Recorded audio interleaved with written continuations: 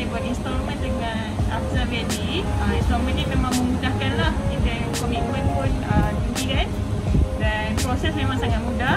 Ah, uh, Saya datang ke rumah untuk sign agreement. So terima kasih Afzal Valley